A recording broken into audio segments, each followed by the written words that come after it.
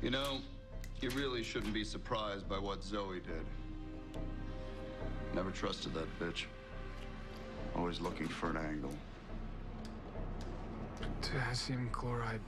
Government uses it for lethal injections. Stops the heart in minutes. What do you mean, really? Lucky you. Lucky me?